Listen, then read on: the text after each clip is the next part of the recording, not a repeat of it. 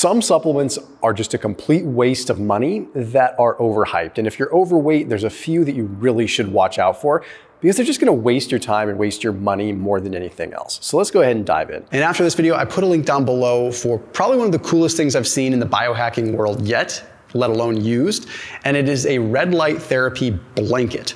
So you can't make fun of me for red light therapy anymore because the science is way too strong and it definitely works. And the military uses it, professional athletes use it, sports teams use it.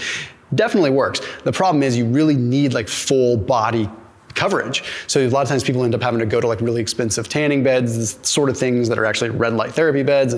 Anyway, the point is, is that Bon Charge has a red light therapy like blanket. It's like a sleeping bag that you get in where they've managed to get the 660 nanometer wavelength red light into a flexible sort of diode that you can actually crawl in this thing like a sleeping bag. And it's very reasonably priced when you consider how much it costs to typically go in a red light therapy bed.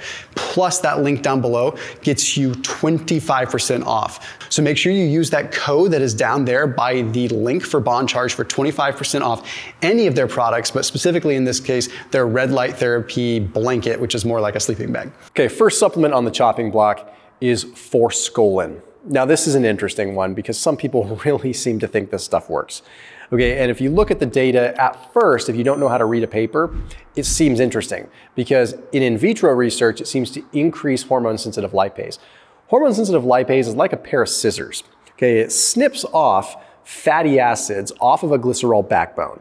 Hormone sensitive lipase is amazing. It does help us liberate fat, which is tremendous for fat loss, right? It's critical for lipolysis. So in vitro, when you see that forskolin increases hormone sensitive lipase, you're thinking like, oh my gosh, this is gonna liberate so much fat. Well, if you look at the literature, there's a study published in Nutrients that actually showed promising data, but we have to look at it more. So what this study did is it took a look at subjects that had 250 milligrams of forskolin or a placebo for 30 days along with a deficit and exercise.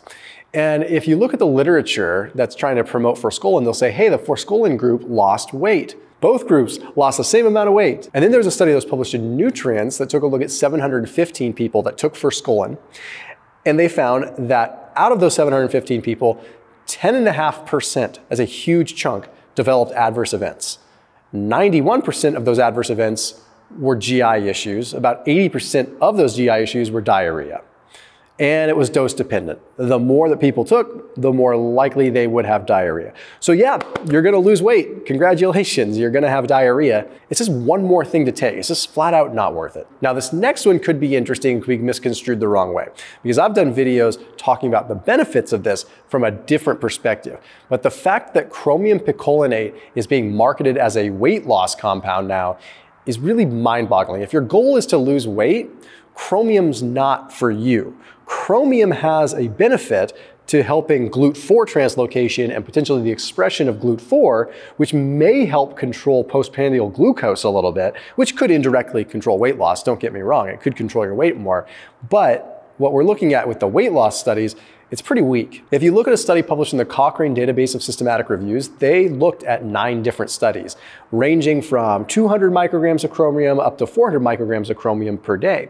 And they saw that there was on paper what looked like a decent impact from chromium in terms of weight loss. So it was like a little bit favorable, but it was clinically debatable. What that means is like when you actually look at the data, none of this was adjusted for confounders. They didn't look at any other variables. So there was caffeine in some, there was exercise in some, because it was a meta-analysis where they're looking doing a systematic review, right?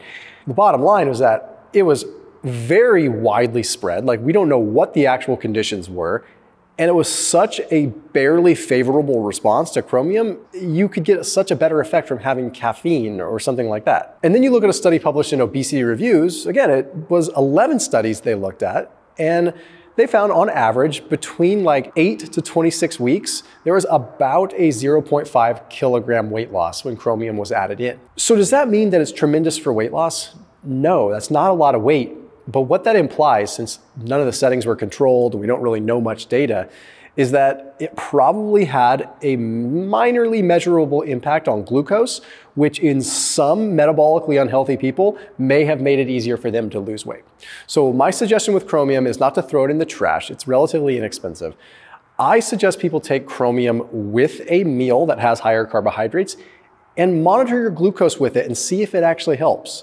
But more importantly, it's an element, a mineral that we do need. So if you're not getting foods that have chromium in it, yes, supplement chromium. It's not a bad supplement, but taking it for weight loss is just worthless. This next one is probably the biggest culprit because there are a lot of marketing scams out there that talk about bitter orange or synephrine, the extract of bitter orange, as a potent metabolic like ramp up, like it's going to drive up your metabolism, increase your metabolic rate. The International Journal of Medical Sciences had published a paper looking at 20 different studies, so another meta-analysis, and they found that all of these studies were showing huge promising effects with bitter orange and synephrine, the extract of bitter orange, on increasing metabolic rate, like measurable increases in resting metabolic rate. Well, what more could we ask for? That's exactly what we want. We want to increase our metabolic rate. But there was a huge, huge, huge glaring issue with this. Every single study that showed favorable results with bitter orange or synephrine, guess what? they also had caffeine in them. Because a lot of times when you take a bitter orange supplement, they also add caffeine or green tea extract or some form of caffeine. Guess what? In these papers, all the way up to 528 milligrams of caffeine. You know how much caffeine's in a cup of coffee, right? Like we're talking 80 to 120. So, you know, just, just a modest five cups of coffee, that's not gonna do anything to your metabolic rate, right? When you look at the nine studies out of these studies that did not have caffeine, that only had bitter orange, guess what? Only one showed a pathetically small increase in resting metabolic rate. The other eight did not. I rest my case. I'm pretty sure it's the caffeine that's doing the job here. Another one that I want to make a mention of, carnitine. Carnitine is an interesting thing because carnitine is absolutely critical for fat metabolism. Carnitine is what helps fat transfer into the mitochondria. And yes, that is important. Taking carnitine without exercise is not going to do you any good. And when you look at some of the data compared to placebo without exercise, it really doesn't do much. It's not strong. But carnitine deficiencies are real. And when you train hard, you do become deficient in carnitine. So carnitine is one of those where if you're going to take it as a fat burner without exercise, it's not really worth it. It's not going to do anything. And it's inexpensive. But if you're going to exercise, then sure, it could have an impact. But what we're seeing in the literature is that anything above and beyond your baseline of where you should be is not going to be advantageous.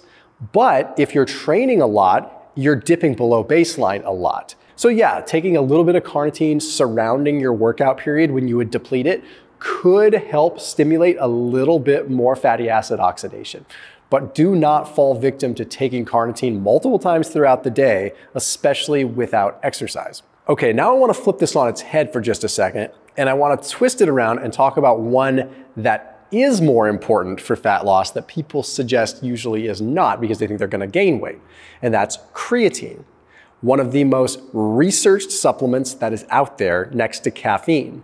And you might think, oh, I'm gonna gain weight with creatine. I want to mention this as something that is cheap and effective that probably works better than these other four that I've talked about. It's an energy producing supplement. It's going to help you create more or have more available creatine phosphate to immediately produce ATP when you need it on demand. So it's going to get you stronger. Yes, it's potentially going to help you build muscle. Yes. Potentially help you put on lean body mass, which revs up your metabolism. Yes. But there's even some literature that suggests that it's going to improve recovery and improve inflammatory responses, inflammatory markers, to the point that it actually might drive up lean body mass and bring down body fat. So the literature on creatine is very, very, very strong, whereas the literature on things like bitter orange are a complete joke. So as always, keep it locked in here on my channel. See you tomorrow.